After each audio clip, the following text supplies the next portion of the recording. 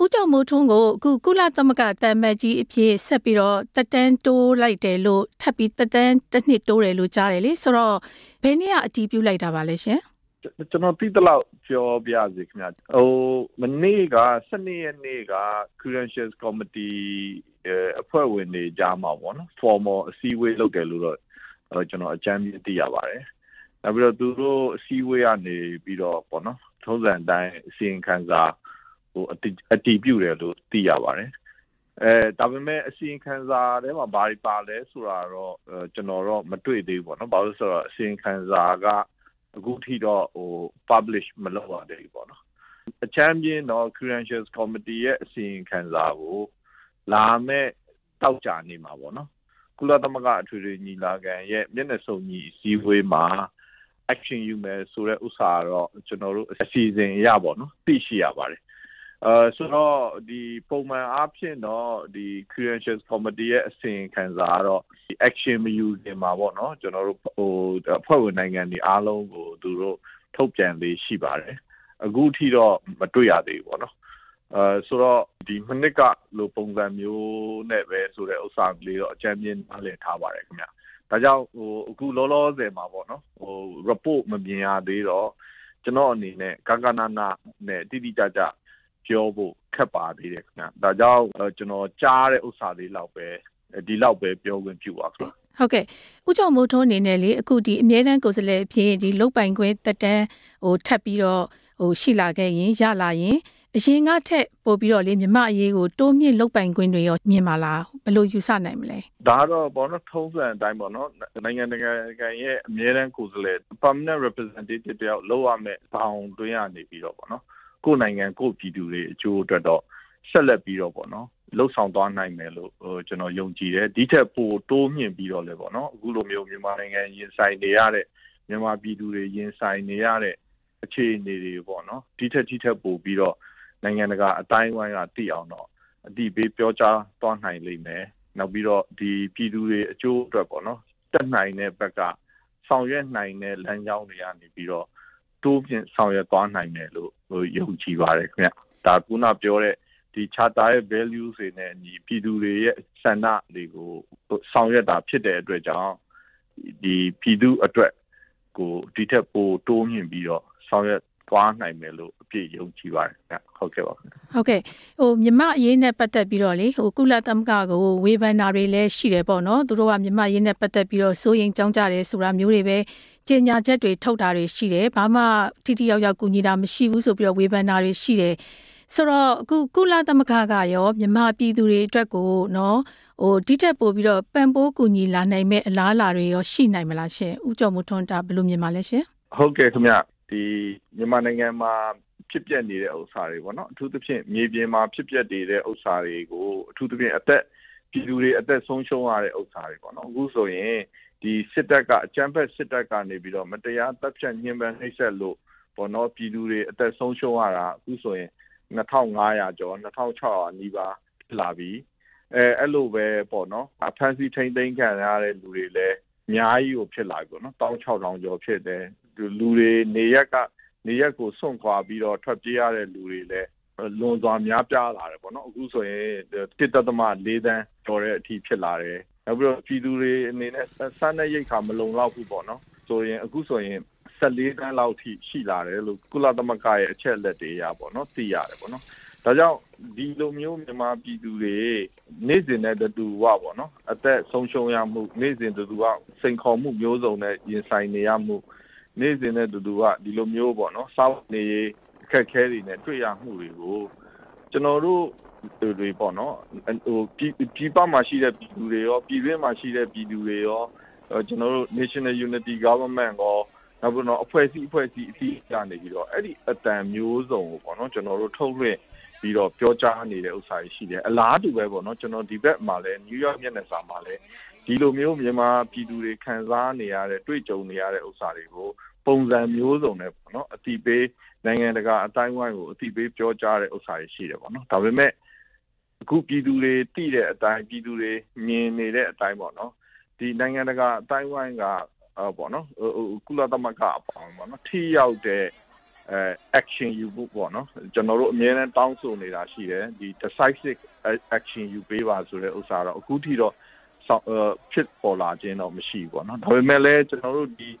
multilateralism မှာပြန်ကြည့်ရဆိုရင်တော့တချို့ကိစ္စတွေက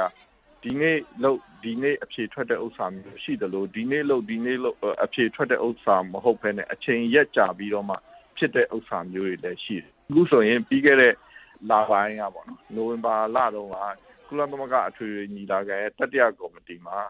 မြန်မာနိုင်ငံနဲ့ဆိုင်တဲ့ resolution ပေါ့နော်ခေါင်းစဉ်ကတော့ human rights situations of uh, Rohingya Muslims and uh, other minorities in Myanmar ဆိုတဲ့ခေါင်းစဉ်နဲ့ဆုံးဖြတ်အဆိုမှုကျမ်းချခဲ့တဲ့ဥစ္စာရှိတယ်အဲ့ဒီဆုံးဖြတ်ချက်အဆိုမှုကျမ်းမှာလည်းပေါ့နော်အခုဖြစ်ပျက်နေတဲ့အနေအထားတွေလုံလုံလောက်တော့တော့မဟုတ်ဘူးဖြစ်ပျက်နေတဲ့အနေအထားတွေကိုဟို reflect လုပ်တဲ့စာသားတွေဟို resolution မှာတော့ပါတဲ့ဥစ္စာရှိတယ်ဒါပေမဲ့လုံလောက်မှုတော့မရှိသေးဘူးပေါ့နော်အဲ့ဒီ resolution ကိုလည်းအဲဒီအဖွဲ့ဝင်နိုင်ငံတွေကြားမှာတူညီဆန္ဒနဲ့ပေါ့နော် အဲအတီးပြုချမှတ်နိုင်ခဲ့တဲ့ဥစ္စာရှိတယ်ပေါ့နော်ဆိုတော့အဲ့ဒါအဲ့ဒီတပိုင်းရှိတယ်လို့အခုဆိုရင်လည်းပေါ့နော်ကုလသမဂ္ဂလုံခြုံရေးကောင်စီမှာဒီအဖွဲ့ဝင်နိုင်ငံတွေအနေနဲ့ပေါ့နော်အထူးသဖြင့် UK ပေါ့နော်ဒီဆုံးဖြတ်ချက်အဆိုမှုကျမ်းတစ်ခုချမှတ်နိုင်ဖို့အတွက်ကိုသူတို့စ조사လာတာတော့ကြာပြီပြီးခဲ့တဲ့ August လလောက်ထဲကဒါပေမဲ့လည်းတဖြည်းဖြည်းနဲ့ပေါ့နော်အခုကတော့ရုပ်လုံးပေါ်လာတဲ့ဥစ္စာရှိတယ်အခုဆိုရင်ကျွန်တော်တို့ကြားတဲ့ဥစ္စာအဆိုမှုကျမ်းကိုပေါ့နော်အဖွဲ့ဝင်တွေနိုင်ငံတွေကြားထဲမှာ ဟိုညှိနှိုင်းဆွေးနွေးလျက်ရှိတယ်ဆိုတဲ့ဥစ္စာလေးတော့သိရတယ်ပေါ့နော်ဒါကြောင့်ဒါတွေကတိုးတက်လာတယ်မြန်မာနိုင်ငံနဲ့ပတ်သက်ပြီးတော့လုံခြုံရေးကောင်စီကဆုံးဖြတ်ချက်အဆိုအဆိုတစ်ခုကိုချနိုင်တယ်ဆိုရင်လည်းဘာပဲပြောပြောဒီစစ်တပ်ကနေပြီးတော့ကြီးသူတွေပေါ်မတရားကျူးလွန်နေတဲ့ဒီ atrocity တွေကို highlight လုပ်နိုင်တာရှိတယ်လို့ဒီဒီစစ်တပ်အပေါ်လဲပေါ့နော်ဟိုဘာပဲပြောဖိအားတမျိုးမျိုးနဲ့ ပေးနိုင်တဲ့အနေအထားမျိုးလည်းရှိတဲ့အတွက်ကြောင့်ဒီကုလသမဂ္ဂလူမျိုးရေးကောင်စီမှာရှိတဲ့အဖွဲ့ဝင်နိုင်ငံတွေအနေနဲ့လည်းပေါ့နော်ဒီမြန်မာပြည်သူတွေရဲ့ခံစားနေရတဲ့ဥစ္စာတွေကိုကြည်ပေးပါမြန်မာပြည်သူတွေရဲ့အတန်မြန်မာပြည်သူတွေရဲ့ဆန္ဒကိုတည်တည်ချာချာနားထောင်ပြီးတော့ပေါ့နော်အဲဒီမြန်မာပြည်သူတွေရဲ့ဆန္ဒ aspiration နဲ့အညီ ထိရောက်တဲ့ဆောင်ရွက်ချက်တွေပေါ့နော်ကုလသမဂ္ဂလူမျိုးရေးကောင်စီကနေပြီးတော့ဆောင်ရွက်ပေးပါလို့အဲကျွန်တော်ဒီနေရာကနေတိုက်တွန်းမြစ်တာရက်ခံလိုပါတယ်ခင်ဗျဟုတ်ကဲ့နော်ကျွန်တော်မြစ်တာရက်ခံတိုက်တွန်းလိုပါတယ်ခင်ဗျဟုတ်မြန်မာပြည်ကကုလသမဂ္ဂရုံးအနေနဲ့ပေါ့လေပြည်သူတို့ကူညီဖို့မှာစစ်ကောင်စီနဲ့ပူးပေါင်းသင့်တယ်ဆိုတာမျိုးတိုက်တွန်းတာတွေရှိတယ်ဥချုပ်မိုးထွန်းအောင်ဘယ်လိုမြင်လဲရှင်အော်ဒီဗမာပြည်မှာရှိတဲ့ကုလသမဂ္ဂ agency တွေအနေနဲ့တော့ သူတို့တွေလုပ်ငန်းဆောင်ရွက်လို့ရအောင်သူအဓိကပေါ့နော်ပြည်သူတွေလိုအပ်တဲ့လူသားချင်းစာနာမှုအကူအညီပေးရေးတို့ပါလှုပ်ဆောင်လို့ရအောင်အတွက်ပေါ့နော်အဲသူတို့တွေတော့နီးပေါင်းစုံနဲ့စူးစမ်းနေတဲ့ဥစ္စာတော့ရှိပါတယ်ခင်ဗျအဲကျွန်တော်တို့ကတော့အများအားထောက်ပြတဲ့ဥစ္စာကဒီလူသားချင်းစာနာမှုအကူအညီတွေပေးတဲ့ဥစ္စာကိုကျွန်တော်တို့အားပေးတယ်ဒါပေမဲ့အဓိကကလူသားချင်းစာနာမှုအကူအညီတွေကလိုအပ်တဲ့လူတွေလက်ထဲကို ရောက်ဖို့ကအဓိကဖြစ်တယ်လိုအပ်တဲ့လူတွေလက်ထဲမဟုတ်ဘဲနဲ့ပေါ့နော်စစ်တပ်နဲ့နှီးစပ်တဲ့လူတွေကိုပဲပေးတဲ့ပုံစံမျိုးရှိတဲ့လူသားချင်းစာနာမှုအကူအညီပေးကိုတော့ကျွန်တော်တို့လုံးဝလက်မခံဘူး။ဒါကြောင့်လူသားချင်းစာနာမှုအကူအညီပေးဆိုတာဒုက္ခရောက်နေတဲ့လူလိုအပ်တဲ့လူတွေစီကိုအကုန်လုံးကိုပေါ့နော်ဟိုမခွဲကြဘဲနဲ့ရောက်ဖို့လိုတယ်နော်။ဒါကြောင့်ကျွန်တော်တို့အနေနဲ့တော့အမြဲတမ်း UN ကိုတော့အမြဲတမ်းတိုက်တွန်းနေတာရှိတယ်။ ဘလို့ပုံစံမျိုးနဲ့ပဲလူသားချင်းစာနာမှုအကူအညီပေးစေ